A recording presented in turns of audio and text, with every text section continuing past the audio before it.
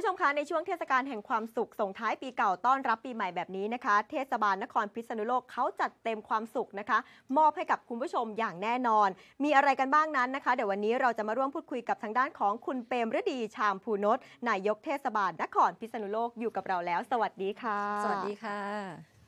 ตอนนี้งานที่เราเห็นอยู่เลยเห็นว่ากำลังจะมีมหกรรมอาหารจังหวัดพิษณุโลกเป็นยังไงบ้างคะท่านนายกอ่า ก็เป็นงานส่งท้ายปีเก่าต้อนรับปีใหม่นะคะ ที่เราจัดเป็นประจำมาทุกปีค่ะจุดประสงค์ก็คือต้องการกระตุ้นเศรษฐกิจแล้วก็ส่งเสริมการท่องเที่ยว ค่ะ ก็คือเป็นมหกรรมอาหารให้สามารถที่จะไปเลือกซื้อเลือกชมกันได้เลยใช่ แล้วก็ค่ะเป็นการส่งท้ายปีเก่าต้อนรับปีใหม่นั่นหมายความว่ามีเข้าดาวน์ด้วยค่ะ อ๋อ มีเขาดาวน์ด้วยด้วยอ๋อแล้วก็ห็แบบเป็นปีนี้มีจัดงานสีสันมากมายเลย ก็เป็นกิจกรรมส่งเสริมความสุขให้เขาด้วย ส่งค่ะความสุขนะคะ โดยเฉพาะอย่างยิ่งการจัดต้นคริสต์มาสนะคะอืมแล้วก็ประดับตกแต่งไฟให้สวยงามค่ะแล้วก็โดยเฉพาะเข้าดาวน์ปีนี้เนี่ยเออ ของจังหวัดพิษณุโลกเรามีจุดพลุสวยงามมากใช่อ่าค่ะมีจุดผู้ใหญ่พลุด้วยผู้ใหญ่มีพลุผู้ใหญ่ด้วยผู้ใหญ่แล้แล้ววพลุใหญ่แล้วชุดใหญ่ระหว่างชุกิดใหญ่จกรรม ระหว่างกิจกรรมในช่วงนี้ก่อนที่จะไปถึงวันเขาดาวน์เห็นมีบอลลูนก็มีมีกิจกรรมทางน้ำสวยงามมากมายเลยทีเดียว อันนั้นก็เป็นหน่วยงานของเออสำนักงานการท่องเที่ยวและกีฬานะคะค่ะซึ่งเอามาเสริมให้จังหวัดพิษณุโลกของเรามีกิจกรรมมากขึ้นค่ะโดยก็ใช้เวทีสวนกลางเมืองค่ะแล้วก็สวนชมน่านเราเป็นสถานที่จัดกิจกรรม ซึ่งค่ะก็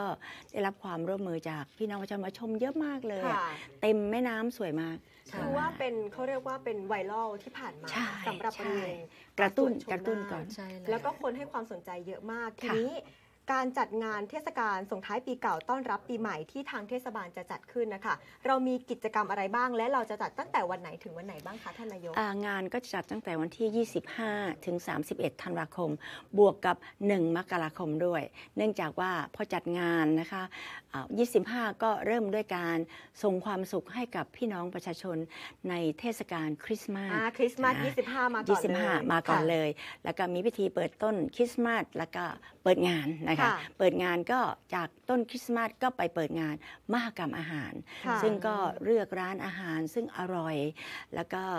เป็นที่ติดอกติดใจของนักท่องเที่ยวมาเป็นร้อยกว่าร้านด้วยกัน ก็คือคัดมาแล้วคัดมาแล้ว เป็นของดีของเด็ดของอร่อยร้อยกว่าร้าน ใช่ แล้วก็ clean food good taste ด้วยค่ะอ่าประมาณที่ต้องอย่างเงี้ยบอกเลยคือ นอกจากอร่อยแล้วต้องสะอาดด้วยต้องสะอาดด้วยนะคะแล้วที่นะคะสำคัญเลยนะคะ ปีนี้ก็ยังคงในเรื่องของมาตรการป้องกันโควิด -19 อยู่เช่นเคยอ๋อแน่นอนค่ะ มาตรการตรงนี้ก็ยังไม่ได้ถึงแม้ว่าทางการจะไม่ค่อยให้ความสำคัญกับการ อ่าอะไรคะเหมือนสมัยก่อนไม่ได้นะคะเข้มก่อยข้นไม่ได้เข้มข้นนะคะแต่ว่าการป้องกันของเรายังเข้มข้นเหมือนเดิมค่ะโดยเฉพาะพี่น้องประชาชนก็อยากจะให้บอกไม่จำเป็นไม่ถอดแมสในงานนะคะค่ะแล้วในงานเราก็ยังมีเรื่องของอ่างล้างมือนะคะ แนะนำในเรื่องของ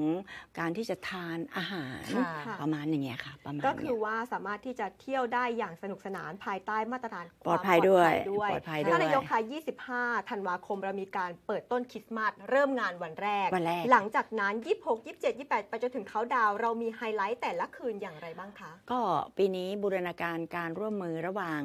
อ่าทุกหน่วยงานนะคะค่ะไม่ว่าจะเป็นเรื่องของสภาเด็กเยาวชน ปีนี้ค่ะจัดเต็มค่ะอ้าวมาใช่มา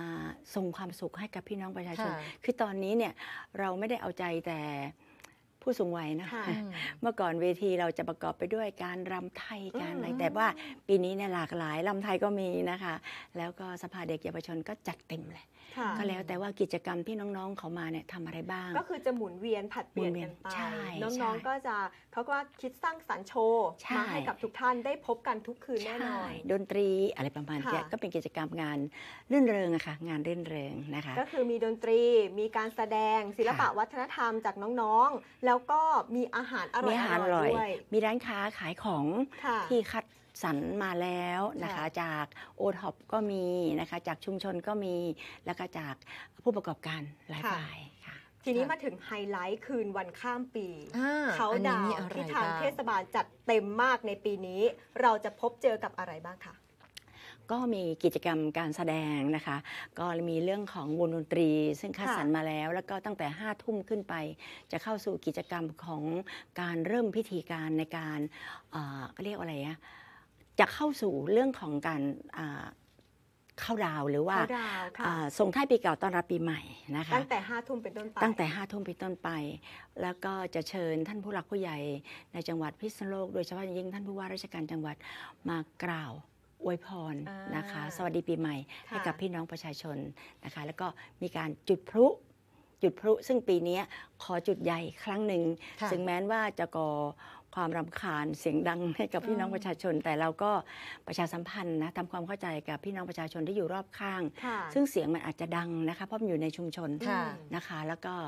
การจุดก็จะใช้แนวของแม่น้ำนะคะค่ะสันเขื่อนนะคะตรงนั้นเป็นเป็นที่จุดซึ่งอ่า การจุดเนี่ยเราก็คุยกับทางตำรวจ ทางเรื่องเรื่องความปลอดภัยอะนะคะค่ะว่าเวลามาสถานที่จุดเนี่ยระยะเท่าไหร่ถึงจะปลอดภัย คนดูต้องดูอยู่ในประมาณเท่าใด ค่ะค่ะเพราะพลุที่จุดเนี่ย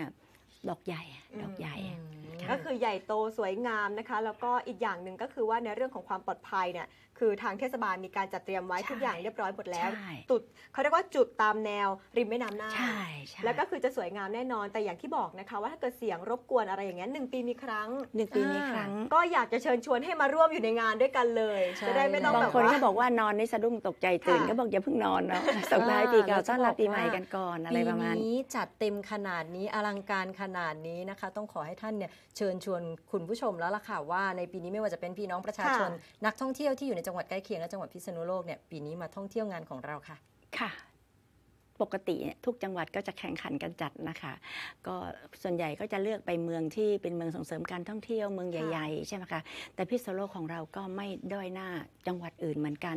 ก็อยากเรียนเชิญนักท่องเที่ยวนะคะ ที่จะผ่านพิษณุโลกไปจังหวัดอื่นนะคะ ก็มาแวะส่งท้ายปีเก่าต้อนรับปีใหม่กันก่อน แล้ววันที่หนึ่งมกราคมเนี่ยเรามีการ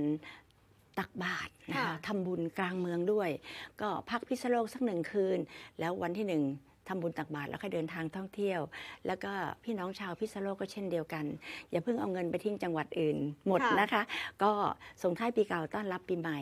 นะคะ แล้วก็ทำบุญตักบาตรในวันที่หนึ่งมกราคม แล้วก็เพื่อเป็นสิริมงคลแล้วก็เดินทางไปท่องเที่ยวด้วยความปลอดภัยค่ะ ช่วงเทศกาลส่งท้ายปีเก่าต้อนรับปีใหม่แบบนี้อยากให้ท่านนายกนะคะอวยพรปีใหม่หรือว่าอยากมีอะไรส่งต่อถึงพี่น้องประชาชนที่รับชมอยู่ตอนนี้เชิญเลยค่ะ ก็ในวาระดิทีขึ้นปีใหม่ 2566 นี้นะคะ